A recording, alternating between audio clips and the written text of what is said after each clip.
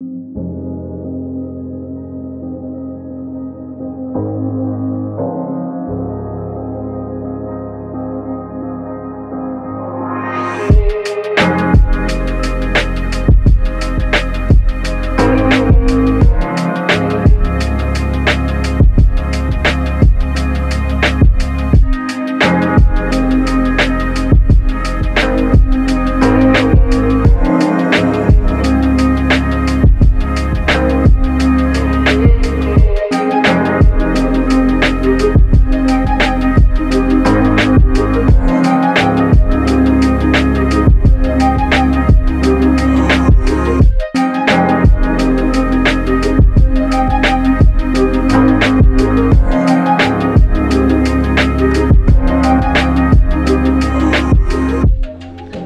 čau, já ti vydám nové videa.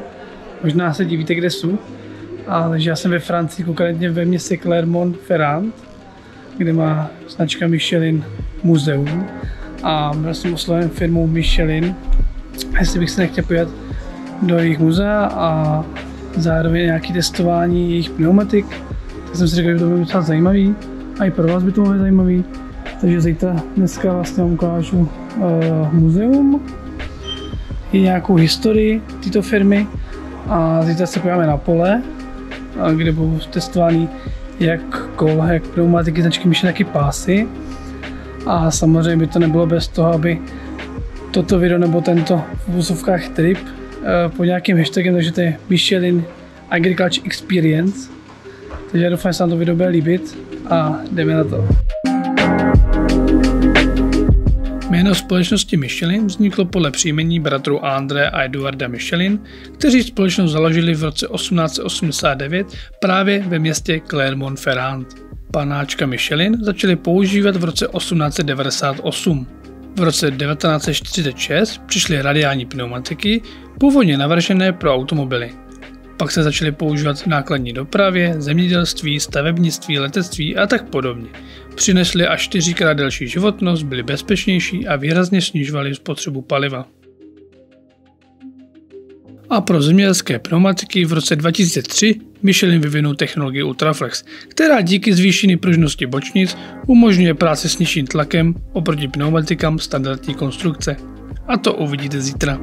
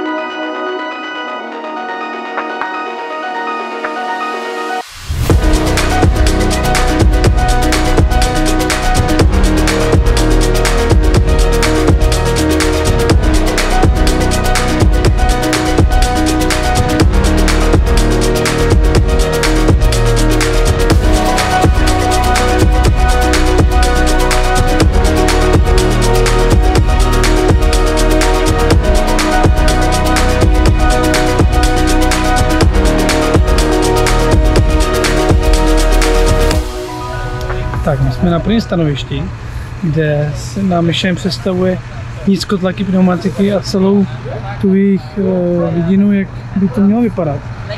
Takže tady tu máte traktor, máte osazený uh, řízením tlaku vzduchu jak na návěsu, tak i na traktoru. Máte to řízení vlastně všechno ovládané z pohodlí kabiny traktoru, jak ovládání tlaku vzduchu v pneumatikách traktoru, tak i u návěsu. Tady vlastně bylo to revoluční řešení od firmy Michelin. Tady už na první pohled můžete vidět, eh, jaký je rozdíl, když máte vlastně u těch super nízkotlakých pneumatik jeden bar, jo, u druhých máte 36 barů. A už samozřejmě na první pohled můžete vidět, že ta plocha, kde je jeden bar, tak je opoznání větší, protože vlastně když se opustí na ten jeden bar, tak se zvětší, větší styčná plocha, tím pádem je to samozřejmě lepší na, na to, že máte menší utužení půdy, eh, menší prokus, takže tím, protože je větší styčná plocha a eh, máte fakt ten, eh, ten tlak na půdě opravdu nižší. Tady máte ještě porovnání, že to je o 50%, což je úplně jako, jako je to velký rozdíl. A tady si ještě ukážeme, Tady to máte vidět, tam to máte vidět sice jako na, na ploše, ale to, co většina našich očí nevidí, tak je podzemí, co se děje. Jo? Napravo máte super nízkotlaké pneumatika od Michelinu, které jsou při jednom baru a vedle máte při 3,6 baru. Takže už vidíte ten znatelný rozdíl utužení půdy, jak to tady vypadá. Jo, je to opoznání větší utužení, takže, takže se určitě vyplatí do nějakých mokrých podmínek, kde je pak uh, riziko toho, že byste mohli zapadnout a, a tak, takže a prostě mít uh, hluboký koleje a samozřejmě k tomu, že se pak zmenší uh, potřeba podrý, podrývání, protože ta půda nebude tolik utužená, jako když si člověk nastaví tlak v pneumatikách, jak by měl. A vím, že mnoho výrobců už dávají tabulky, jak by měly mít tlak pneumaty nastavený při nějaké práci. Takže si myslím, že toto řešení od Michelinu je super, protože i v Česku vlastně už se dost dá zále, dávají lidi záležet, formáče záležet na tlaku v pneumatikách a na utužování půdy, jakož to pak musí řešit podrejvání a alkoholním kypřením, což je finančně náročný, tak ta firma Michelin by tímto měla aspoň trošku ulehčit uh, tento problém trošku ho zmírnit, eh, protože jelikož když si člověk pak může jak na návěsu, tak i na traktoru prostě dát uh, takto nízký tlak na pneumatiky, tak potom uh, prostě to utuží půdy je menší. Je to lepší pro zadržování vody v sakování, že? protože když máte, je jasný, že když pak máte problém, že máte utuženou půdu, tak ta voda se těžko vsakuje, odplavuje se a vzniká eroze a takové další věci. Takže toto je podle mě super nápad, jak tomu pomoct.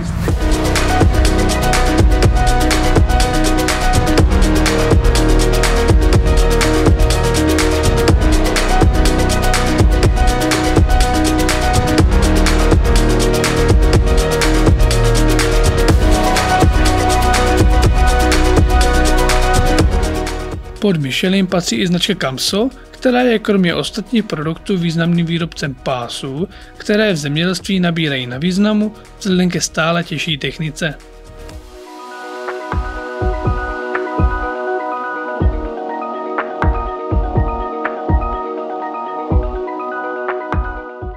Na tomto gateru jsou bezduchové pneumatiky a tato technologie byla původně vyvinutá pro lunární vozítka na měsíc.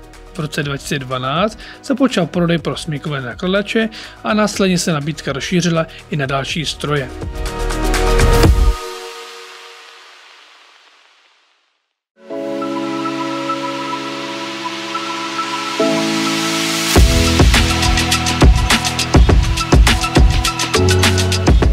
Spraybib, pneumatika, která je pro postřikovače taktéž Michelin Ultra Flex.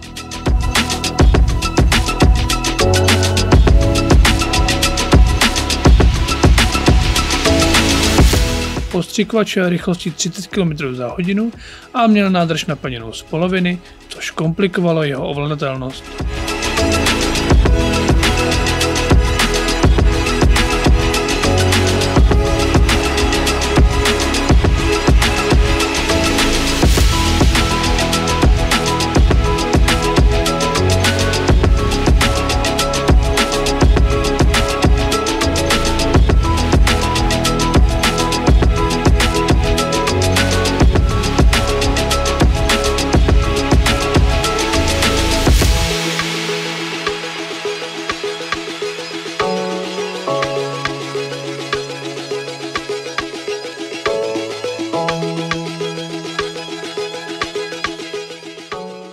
Tomto stanovišti jsme porovnávali spotřebu paliva při různém tlaku v pneumatikách. Při prvním přejezdu byl tlak v pneumatikách 1,6 baru a při druhém přejezdu jsme mohli vidět efekt technologie Ultraflex, které jsme měli tlak pouze 0,9 baru. Všechny traktory měly obuté pneumatiky Axiobip 2 s technologií Ultraflex. Při testu jsme mohli sledovat momentální spotřebu paliva na 1 hektar a tažnou sílu. Výsledek byl, že díky nižšímu tlaku se spotřeba paliva snížila o 5 až 9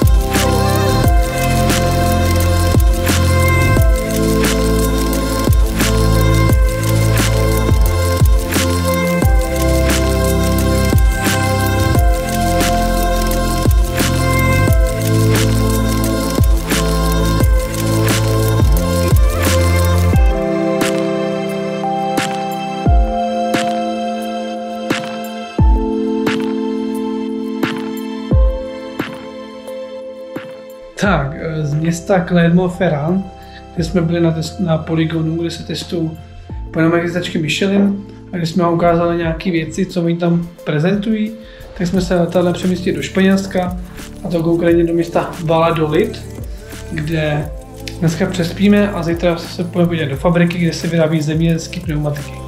Tak doufám, že se vám to bude líbit. A určitě pokud se zajímá, napište do komentářů, pokud budu moc tak odpovím.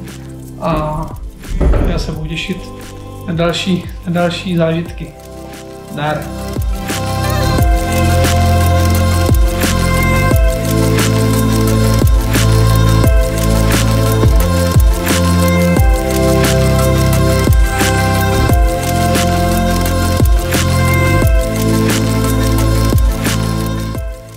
Továrny vám toho bohužel moc ukázat nemůžu, protože Michelin si střeží své výrobní postupy, ale co vám můžu říct je to, že vyrobit zemědělskou pneumatiku není žádná sranda a podílí se na tom mnoho lidí.